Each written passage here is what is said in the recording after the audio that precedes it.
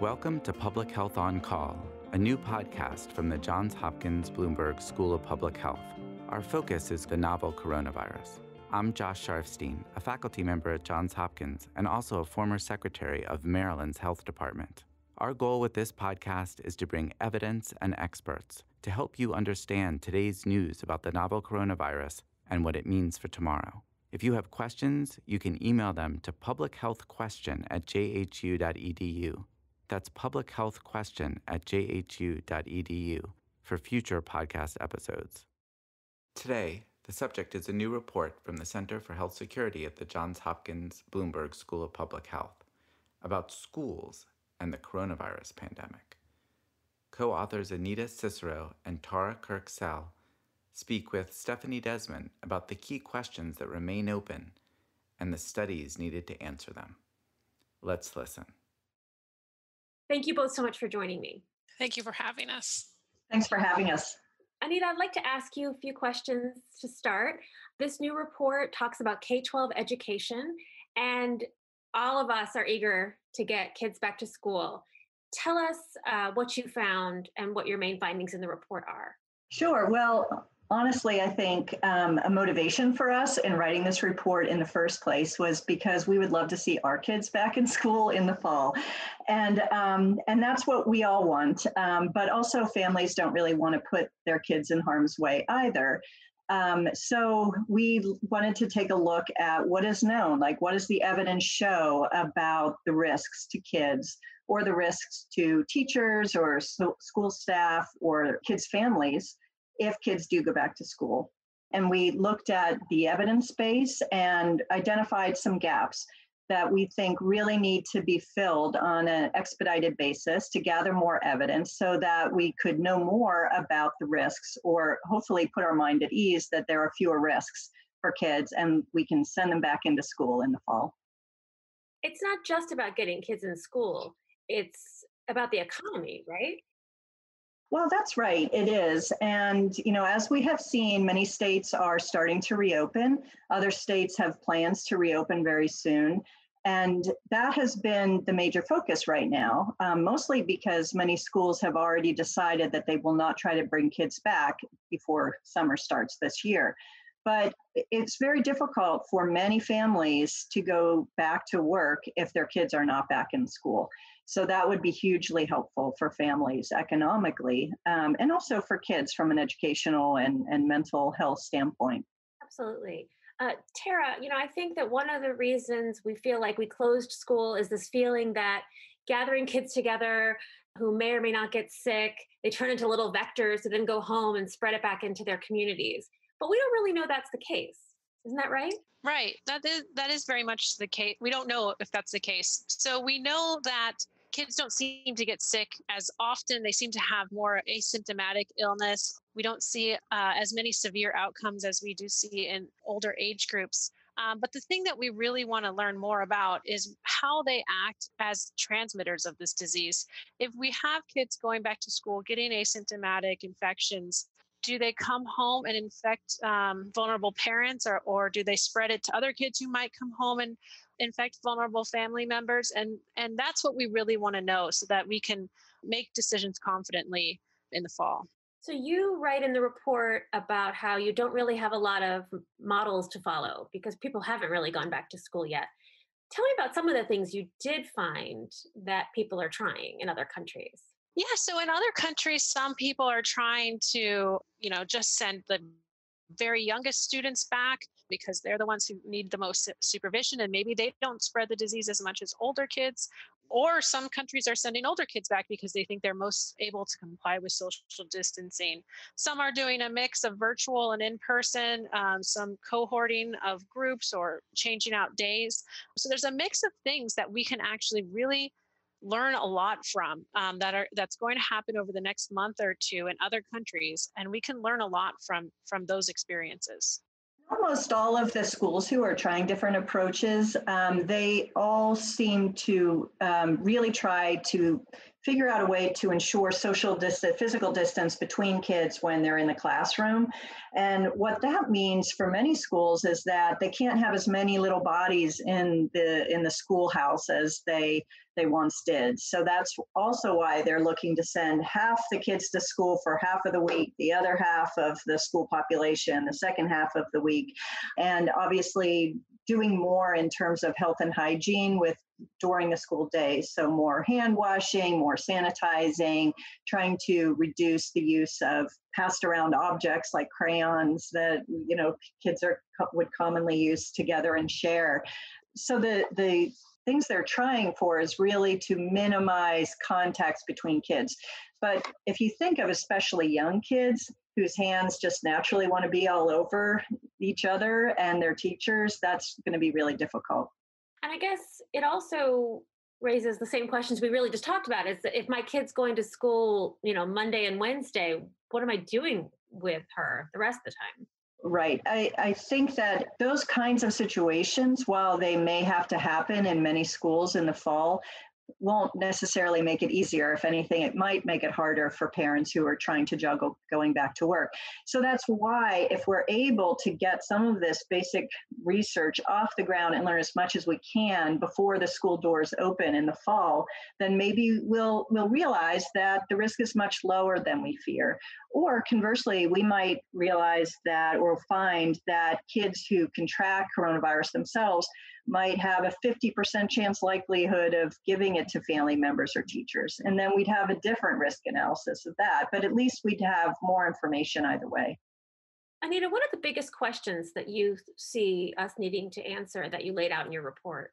It really, the biggest question is um, whether children can efficiently transmit coronavirus to adults with underlying health conditions? To me, I think that is the most important question in the report because, as Tara said, um, we have seen that kids in general might, you know, at, at any age, you're as susceptible of getting it, but kids in general have a lower incidence of it or a lower recorded incidence anyway. But we have also understood that um, you can be asymptomatic or only have mild symptoms and carry this virus, and that may be especially true for children. So if teachers who are teaching them who might have diabetes or hypertension or be obese are interacting on a daily basis with the child, that presents them, it makes them be at a higher risk. Likewise, we've seen that a lot of transmission happens not through casual contacts, but more like extended close contacts that happen in households and sharing a meal, etc. So if kids can pick up coronavirus at school and can efficiently give it to their families, then that presents more risks that we need to be aware of. And Tara, how do we get answers like that? Well, so there's some epidemiological studies that we can run to understand more about, you know, just how the disease is, is spreading in children and what kind of incidence we're seeing and what's happening to them when they get sick. I think there's also uh, a number of cohort studies where we can follow uh, an infection to see, uh, you know, if, if someone's infected, who are they passing it to, or who's the first person, who's the index case in this, you know, in a in a small outbreak in a household or in a small region um, so we can know how uh, how often it's kids passing it to parents versus or, or family members um, versus um, you know them just you know sometimes getting it from someone else and then the chain of transmission stopping with them so i think that those are a couple of things that types of studies that i think we can really learn more about and also just to understand i think there are some sort of not you know beyond the epidemiology studies that we need to know about too. Um, you know as children come back to schools what are the psychosocial needs that they're going to have coming back to school? Uh, how can schools best serve them uh, when they've had some traumas or some other issues well because this is um, about more than academics right i mean kids get more than schooling when they go to school Right. School is an incredible support system for students. You know, they get first of all education and an ability to rise up out of you know issues of inequality and then they also have nutrition programs they have um, you know other special needs support programs schools are an incredible resource to our communities and so you know i think that we need to think about how they we can continue to provide those services or how schools can come back to those services as we resume uh, things in the fall. And anita i was sort of also thinking that you know schools are just full of contact right? I mean we can't really open socially distanced school. I think of you know besides the you know kids playing when they're younger all over each other. You know the hallways in the middle and high schools are so crowded and they're eating lunch on top of each other. And you know kids are kind of gross you know right? I mean they they're not real good at hand washing. So i mean i guess we're going to need to know that that that they're safe. Like social distancing can't be the answer necessarily when we go back Right. And there, I mean, in a lot of the guidance documents that have come out and a lot of the plans developed by um, some states and many different countries, they're being as creative as they can, I think, in terms of how can you keep kids apart? How can you keep surfaces clean and reduce the risk of transmission? But it does put an incredible burden on the school to figure that out. And in many cases, schools will need to maybe think of constructing new physical barriers or, or redesigning space, adding ventilation, thinking about having classes in a large gymnasium rather than in the small classroom. And that, you know, that's another thing. Schools need support for that.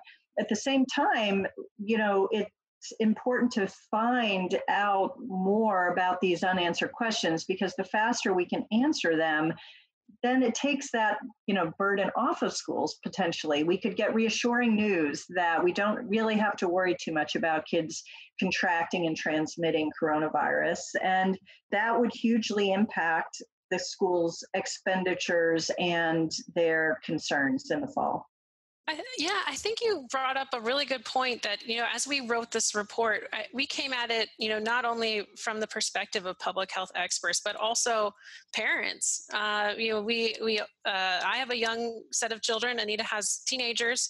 And so, you know, they're all, they're school aged and, you know, we understand sort of what's happening there. My kids are not going to be able to social distance, even when I'm, you know, we're walking on the street I'm trying to get them, we walk by their friends and trying to get them to not be in their friends' faces, it's impossible.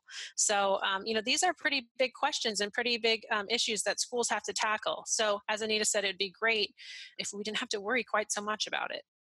That is the goal to try to get the kids back into the classroom because when um, when you think of it, so many families don't have the technical support or or within family support to allow their children to learn successfully at home. I've heard the statistic that 30% of Maryland families don't even have a reliable internet connection.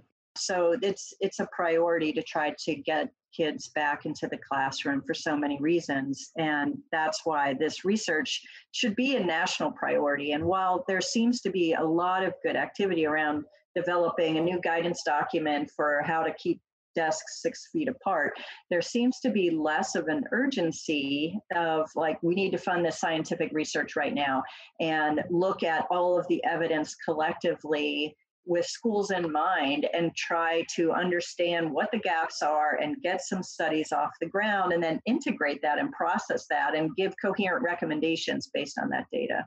Anita Cicero and Tara Kirk Sell, thank you both so much for joining me. Thanks for having us. Thanks for having us. Thank you for listening to Public Health on Call, a new podcast from the Johns Hopkins Bloomberg School of Public Health. Please send questions to be covered in future podcasts to publichealthquestion at jhu.edu. This podcast is produced by Josh Sharfstein, Lindsay Smith Rogers, and Lymari Morales. Audio production by Niall Owen McCusker and Spencer Greer with support from Chip Hickey. Distribution by Nick Moran. Thank you for listening.